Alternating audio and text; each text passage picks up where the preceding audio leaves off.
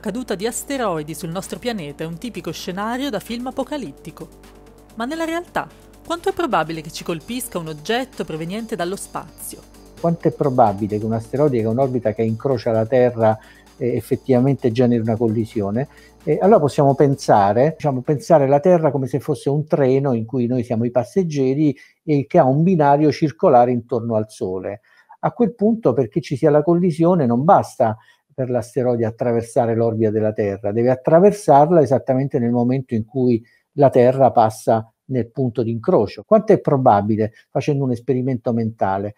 Eh, l'equivalente è come se io mi bendassi gli occhi, mi bendassero completamente, non, non potessi percepire quando arriva il treno e mi dicessero hai un anno di tempo per attraversare il binario, se non, non vieni travolto dal treno ti diamo un premio, so, qualche milione di euro, così tanto per mettere in palio qualcosa.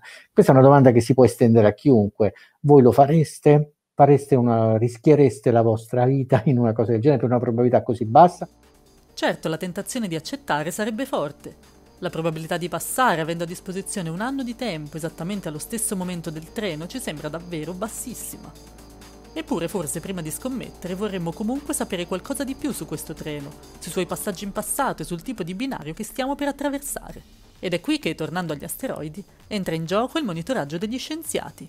Questo ha a che fare un po' con la nostra conoscenza della popolazione eh, di questo tipo di oggetti. Diciamo, lo spazio intorno alla Terra non è vuoto, ci siamo resi conto a un certo punto che non era vuoto, c'erano un sacco di questi oggetti piccoli e meno piccoli.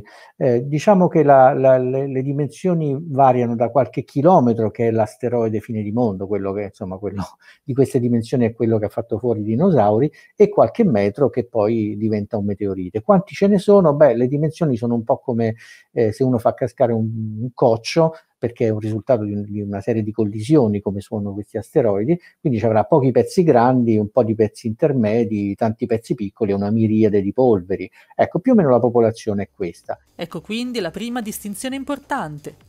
Quando parliamo della possibilità che un oggetto celeste impatti la Terra, il più delle volte ci riferiamo ai futuri meteoriti, che corrispondono ai frammenti più piccoli del coccio.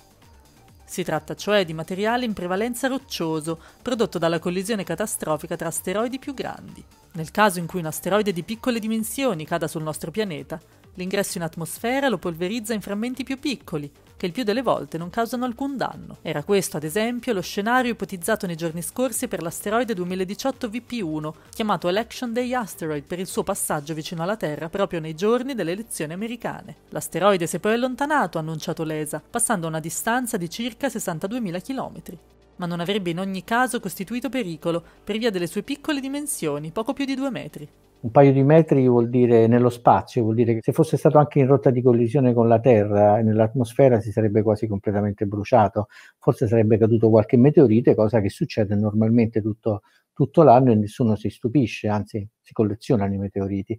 Quindi diciamo eh, eh, pericolo poco, anche se molto poco, cioè doveva essere giusto qualcuno colpito da un meteorite, ma sappiamo che questa cosa è rarissima. C'è un solo caso al mondo, eh, nella, diciamo in tempi storici, riportato nel 1888 di qualcuno colpito da un meteorite, quindi stiamo parlando di questo tipo di problemi. La buona notizia che porta a una notizia del genere è che invece siamo diventati così bravi a osservare oggetti anche così piccoli nello spazio che siamo in grado anche di prevedere dei passaggi ravvicinati oppure la caduta di meteoriti. L'episodio dell'Election Day Asteroid conferma ancora una volta l'importanza dei programmi di monitoraggio e difesa del nostro pianeta, un'attività in cui l'Italia è coinvolta da tempo. Beh, l'Italia è una primogenitura a livello universitario, all'Università di Pisa, nella, proprio nel, nell'aver sviluppato dei sistemi di calcolo così precisi per, per, poter fare questo tipo di predizioni. Ed è un'eredità che l'Agenzia Spaziale Italiana ha eh, preso e portato in ambito europeo eh, e in particolare c'è lo sviluppo di un telescopio che si chiama FlyEye eh, perché è come un, avere un occhio di mosca, cioè guarda una zona molto grande di cielo e proprio per questo è, è in, più in grado di altri telescopi di cogliere questi piccoli oggetti che si avvicinano alla Terra. Frutto di una collaborazione ASI-ESA, il telescopio FlyEye verrà installato a 1865 metri di altezza, in cima al Monte Mufara in Sicilia. Aiuterà gli scienziati nella prima fondamentale fase delle prevenzioni da asteroide, l'osservazione del cielo per scovare in largo anticipo possibili oggetti in avvicinamento. Quindi ogni volta che viene scoperto un nuovo asteroide parte un, un sistema di calcolo che eh, predice quale sarà l'orbita.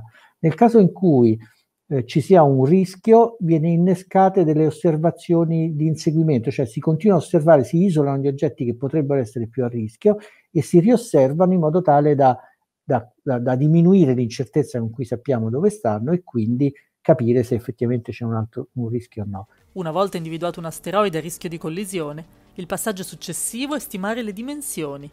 Come abbiamo visto, un oggetto di 2 metri come 2018 VP1 difficilmente può fare danni, mentre si parla di oggetti di 20 o più metri le conseguenze possono essere ben più gravi. Come farlo dipende dalla nostra capacità di analizzare la luce proveniente da un, da un oggetto di questo tipo e capire di cosa è fatto e quanto è grande. Eh, su questo, per esempio, noi abbiamo anche un, un progetto che si chiama NeoRox, un progetto dell'Unione Europea eh, che si prefigge proprio fare, fare questo, cercare di dare una caratterizzazione fisica e non solo dinamica, cioè dell'orbita degli asteroidi, e, e, tra l'altro appunto partecipa anche l'Agenzia Spaziale Italiana ed è guidato dall'Istituto Nazionale di Astrofisica. Fatte queste analisi scatta la fase operativa, Ovvero, cosa succede se un asteroide è in rotta di collisione è sufficientemente grande da cadere sul nostro pianeta e causare danni? Abbiamo una tecnologia spaziale, quindi usiamola, mandiamo una sonda kamikaze a impattare l'asteroide, e basta un piccolo urto, eh, però fatto al momento giusto, quindi con sufficiente anticipo, per fare in modo che quella traiettoria eh, dell'asteroide sia sempre più distante eh, dalla traiettoria della Terra. Anche questo era uno scenario che era stato studiato per la prima volta in Italia eh, sempre all'Università di Pisa, eh, e che si chiamava la missione, aveva questo nome immaginifico, Don Chisciotte, e c'erano due sonde, una era Sancho e l'altra si chiamava Hidalgo, una doveva andare a sbattere e l'altra stando in orbita doveva controllare e misurare se questo impatto era sufficiente per spostare l'asteroide.